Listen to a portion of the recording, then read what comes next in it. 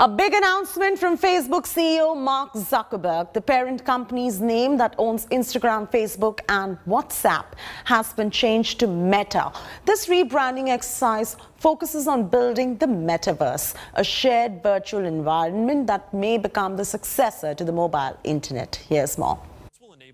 As he faces scrutiny from lawmakers and regulators at home and abroad, Facebook CEO Mark Zuckerberg on Thursday announced a rebrand of the company he founded in 2004. Our company is now Meta. The name change comes as the world's largest social media company battles criticism over its market power, algorithm, and abuse on its platforms. Speaking at the company's live streamed virtual and augmented reality conference, Zuckerberg said it reflects the company's ambition to build the metaverse, which it bets will be the successor to the mobile internet. And you're going to be able to do almost anything you can imagine get together with friends and family, work, learn, play, shop, create, as well as entirely new categories that don't really fit how we think about computers or phones today. A term coined in a dystopian novel three decades ago and now buzzing in Silicon Valley. Metaverse refers broadly to the idea of a shared virtual environment. Hi, Mark. What's up, Mark? The company, which has invested heavily in augmented and virtual reality, said the change would bring together its different apps and technologies under one new brand and would not change its corporate structure. With about 2.9 billion monthly users, the company has faced increased scrutiny especially after Facebook employee Frances Haugen leaked documents she said showed the company chose profit over user safety. Zuckerberg earlier this week said the documents were being used to paint a false picture. On Thursday, as Zuckerberg addressed the conference, the company unveiled a new sign at its headquarters in Menlo Park, California, replacing its thumbs up like logo with a blue infinity icon. Its stock ticker will also change to MVRS on December 1st, but the company's namesake social media service will continue to be called Facebook. A week back, Facebook announced its decision to change its name. The reaction to it was not very exciting. Listen in.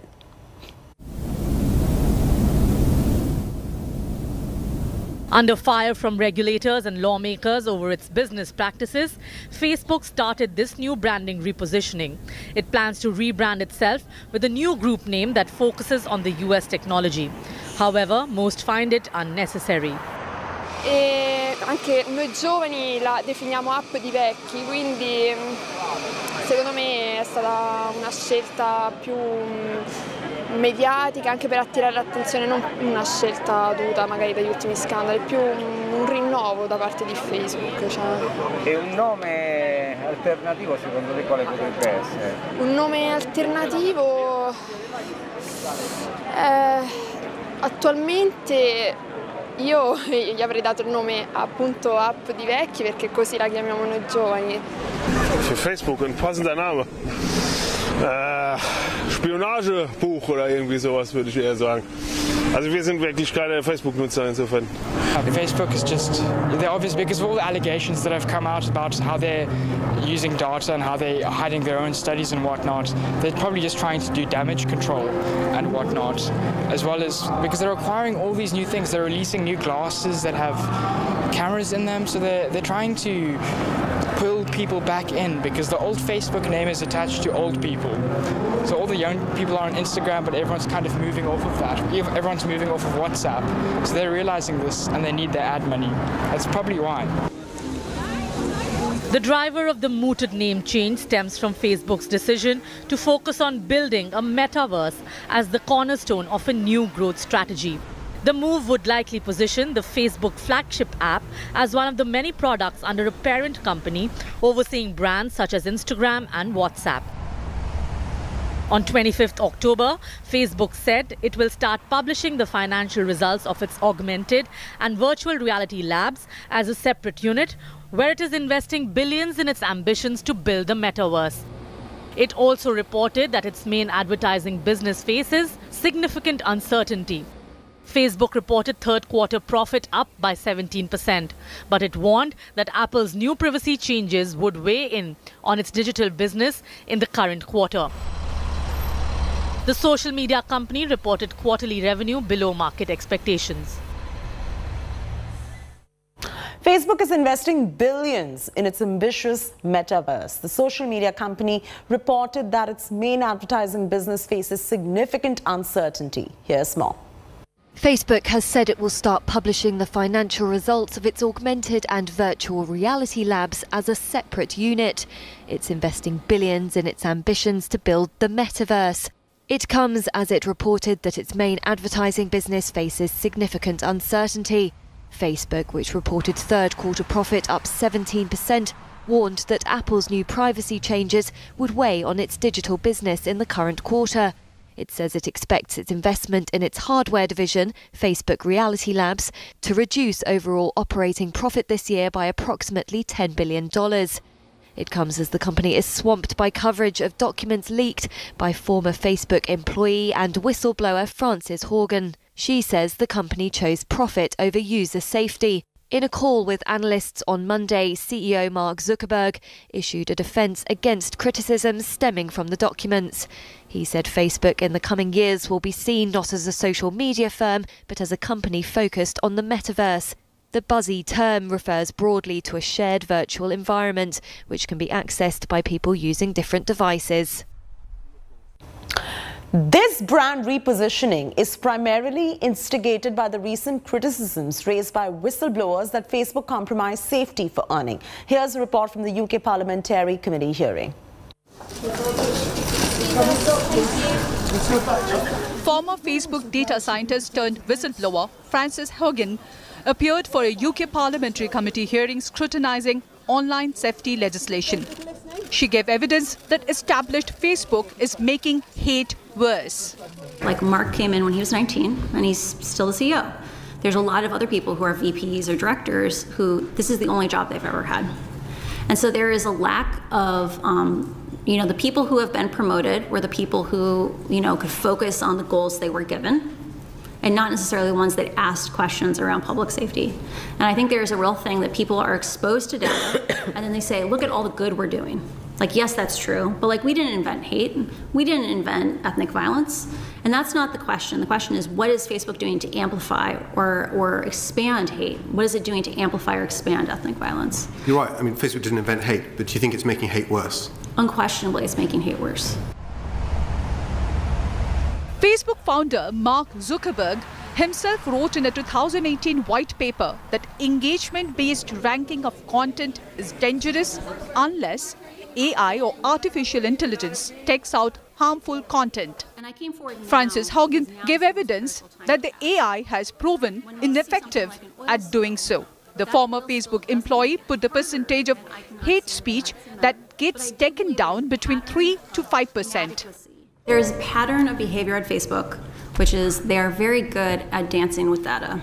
That if you go and read that transparency report, uh, the fraction that they're presenting is not total hate speech caught divided by total hate speech that exists, which is what you might expect given what they said. The fraction that they are actually presenting is the stuff that robots got divided by stuff robots got plus what humans reported and we took down. And it's true that 97% or something of what they take down happens because of their robots. But that's not actually the question we want answered. The question we want answered is did you take the hate speech down? And the, and the number I've seen is like 3 to 5%, but I wouldn't be surprised if there was some variation within the documents. Facebook can resolve this. Frances Haugen also suggested that there is an underinvestment in non English languages with fewer safety systems in place by the social media giant. Mark Zuckerberg put out a white paper in 2018 saying engagement based ranking is dangerous unless the AI can take out the bad things. And as you saw, mm. they're getting 3 to 5% of things like hate speech. They're getting 0.8% of violence inciting content. Um, engagement based ranking prioritizes that kind of extreme content. I'm deeply concerned about their underinvestment in non English languages and how they mislead the public that they are supporting them. So, Facebook says things like, we support 50 languages, when in reality, most of those languages get a tiny fraction of the safety systems that English gets. Also, I don't think this is widely known. UK English is sufficiently different that I would be unsurprised if the safety systems that they developed primarily for American English were actually under enforcing in the UK. I wouldn't be unsurprised at that. And Facebook should have to disclose dialectical differences. Facebook, according to the evidence produced by the whistleblower, currently underspends on safety, and there is little incentive for them to increase it. And I flagged repeatedly when I worked on civic integrity that I felt that critical teams were understaffed. And I was told at Facebook we accomplish uh, unimaginable things with far, far, far fewer resources than anyone would think possible. There is uh, a culture that lionizes kind of a startup ethic that is, in my opinion, irresponsible, right? The idea that, you know, the person who can figure out how to move the metric by cutting the most corners is good. And the reality is, it doesn't matter if Facebook is spending $14 billion on safety a year. If they should be spending 25 billion or 35 billion, that's the real question. And right now, there's no, there's no incentives internally that if, I, if you make noise saying we need more help, like people will not, you will not get rallied around for help because everyone is, everyone is underwater. The UK Parliamentary Committee is proposing big fines or other significant penalties for companies that do not limit and get rid of harmful online material. Frances Haugen will meet European lawmakers and regulators next. One of the main allegations raised by the in-house data scientist turned whistleblower has been that Facebook invested very little to stem hate speech in non-English speaking regions, a point in cases Gaza. Arabic poses particular challenges to Facebook's automated systems and human moderators. Each of that struggles to understand spoken dialects unique to each country and region. Their vocabularies salted with different historical influences and cultural contexts. Here's a report. Hassan Slaieh is a journalist in the blockaded Gaza Strip. In 2014, when Gaza war was at its peak, his Facebook account was disabled. Your account has been permanently disabled for violating Facebook's community standards. The company's notification read. Years of his news posts on violence between Israel and Hamas were flagged as content violations. كانت الانتهاكات عبارة عن حذف الصفحة حذف كلي يعني ما يضلش لك وجود يكون عندك صفحة مثلا عليها 200 ألف في لحظة تصير خارج إطار هذا الموقع يعني يعني في اليوم وليلة بتصير 200 ألف The first time it happened, he was hit hard. He tried to be clever. Like many Palestinians, he'd learned to avoid the typical Arabic words for martyr and prisoner, along with references to Israel's military occupation. If he mentioned militant groups, he'd add symbols or spaces between each letter. But his account would be struck down repeatedly. So when for the 17th time Facebook took down his page last year, it was less of a shock. تعرضنا للانتهاكات في في جميع مواقع التواصل الاجتماعي كان فيسبوك ولا تويتر ولا انستغرام كل المواقع هذه تعرضنا فيها للانتهاكات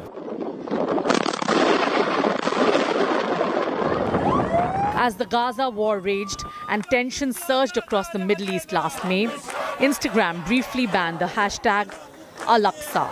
It was considered a reference to the Al-Aqsa Mosque in Jerusalem's Old City, a flashpoint in the conflict. Facebook, which owns Instagram, later apologized, explaining its algorithms had mistaken the third holiest site in Islam for the militant group Al-Aqsa Martyrs Brigade. For many Arabic speaking users, it was just the latest potent example of how the social media giant muzzles political speech in the region. You can imagine then how many misunderstandings can emerge if we are talking about extremely obviously very very different dialects that are mutual definitely mutually un- unintelligible. So say the far west morocco and the far east oman there definitely are very many possibilities for misunderstandings. There is no doubt about that. Arabic is among the most common languages on Facebook's platforms, and the company issues frequent public apologies after similar botched content removals. Now, internal company documents from the former Facebook product manager turned whistleblower, Frances Haugen, show problems are far more systemic than just a few innocent mistakes. Facebook has understood the depth of these failings for years while doing little about it. Facebook consistently resolved these conflicts in favor of its own profits. The result has been more division, more harm, more lies, more threats, and more combat. In some cases, this, this dangerous online talk has led to actual violence, that harms and even kills people. They have spent so little on actually ensuring that the rules that they claim to enforce, their community standards, are enforced properly. And in foreign languages, there is sometimes literally no one. Such errors are not limited to Arabic. An examination of the files reveals that in some of the world's most volatile regions, terrorist content and hate speech proliferate because Facebook remains short on moderators who speak local languages and understand cultural context. You are sure such hate speech is taken down with it. Facebook's language gap weekend screening of hate in Gaza is not the only in this case. In Myanmar, where Facebook-based misinformation has been linked repeatedly to ethnic and religious violence, the company acknowledged in its internal reports that it had failed to stop the spread of hate speech targeting the minority Rohingya Muslim population. In India, the documents show Facebook employees debating last March whether they could clamp down on the fear-mongering anti-Muslim narrative that the far-right Hindu national group Rashtriya Swayamsevak Sangh, which is RSS, broadcasts on a platform. Much of this content was never flagged or actioned because Facebook lacked moderators and automated filters with knowledge of Hindi and Bengali. Other than this, Facebook even failed to contain posts supporting alleged slave trade in its social media platform. It was and is still being used to fuel Middle East's notorious khadima or maid search by Kafil or the sponsors. Apple threatened Facebook with a pullout from its App Store recently. Facebook was in the dock two years ago when Apple threatened to pull Facebook and Instagram from its App Store. The allegation was that these platforms were being used as a tool to trade and sell maids in the Middle East. Facebook promised action. Apple relented and Facebook and Instagram remained in the App Store. But Facebook's crackdown seems to have had a limited effect. Even today, a quick search for Khadima or maids in Arabic brings up accounts featuring posed photographs of Africans and South Asians with ages and prices listed next to their images there's a lot of this happening of jobs being advertised, people being approached, but also people that like seeking to hire workers that certain individuals are being advertised online. So we were not at all surprised when this story broke, although it's an extremely important one. And, and certainly Facebook is a really critical site uh, for both those that want to, you know, hire or even buy workers, but also for workers themselves to be communicating what they're facing. So it's it's a at the moment a largely unregulated space. Philippines government has a team of workers that do nothing but scour Facebook pages each day to try and protect desperate job seekers from criminal gangs and unscrupulous recruiters using the site. While the Middle East remains a crucial source of work for women in Asia and Africa, hoping to provide for their families back home, Facebook acknowledged some countries across the region have especially egregious human rights issues when it comes to laborers' protection. Scale of the problem, you're talking about billions of users, and amongst that, millions of migrant workers or prospective migrant workers. And then, as you say, there's the other issue of these workers are being recruited and going to places to work, like the Gulf, the Middle East, where there's practically no proper regulation of how they're recruited and how they're treated when they end up in the places where they work. So when you put those two things together, really it's a, it's a recipe for disaster. So the approach that Facebook or any of these tech giants has to take, it can't be a band-aid. It has to be a recognition that the magnitude of the problem is is huge. Under the prevalent kafala system in the Middle East countries, cheap labor is imported from Africa and South Asia.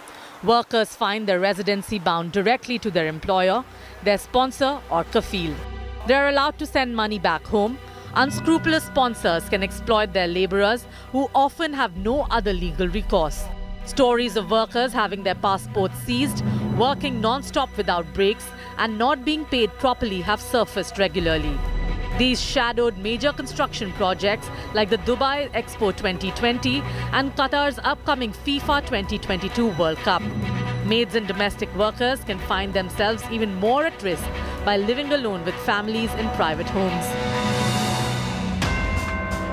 Incidents like Filipina maid Sarah Balabagan that caused a furore in 1990s haven't changed much over the years. 17-year-old Sarah was sentenced to death for stabbing her 60-year-old employer to defend herself in 1994. She was working as a maid in Dubai. Public campaigns and protests paved the way for release and commutation of her sentence to one year in prison. There was no social media then, but the illegal import of labor was prevalent then as much as it is now. Social media giants have provided another platform for these trades to flourish. Facebook acknowledged in internal documents obtained by news agencies that it was under enforcing on confirmed abusive activity that saw Filipina maids complaining on social media site of being abused. British lawmakers grilled Facebook on 28th of October over how it handles online safety as European countries move to rein in the power of social media companies. Here's an excerpt.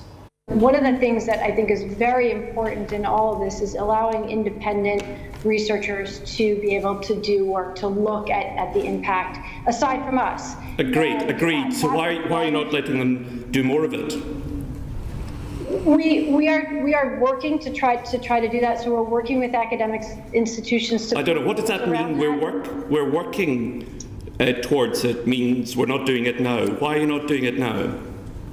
Because there are privacy obligations we have around people's around people's data. And what we'd like to be able to do is provide that data to researchers in a way that meets those privacy uh, obligations.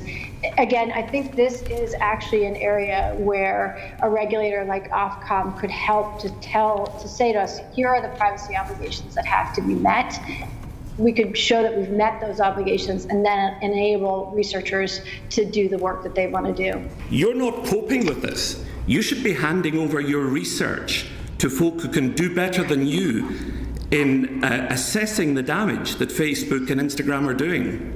You are correct that somewhere between about 12% and 30% on the, on the various issues of people who identified having issues have issues. We actually do take those things quite seriously. So, in the context of one of the issues, let's just take eating disorders for, the, for a moment, because that's the one with the highest number. We actually don't serve weight loss ads to teens. If you look at something like suicide and self ideation, another very serious issue, we've not only do we surface resources when someone searches for it, but we've actually built in the opportunity right within our platform when we identify that content to flag that and to yeah, offer it's, listen, it's not working. It's not. It's not working because the figures are too high. Quite the contrary. It's my experience that we take down these pages because they violate our policies. We've invested in AI to identify those pages. And right. So why did you only take them down after Apple issued you with that threat? Our AI is not perfect. It's something that we're continuing to always to improve. People also flag this content for us, and when they flag this content for us, we also we also will will remove it. Come on, Uh, that wasn't Apple flagging the content. Apple threatened you with something financially disastrous for you, which was to have Facebook removed from the App Store. That's when you leapt into action. That's all the time we have on the special edition. It's time for a short commercial break. On the other side, news and headlines continue. Stay tuned. This is Chaiti Narula signing off.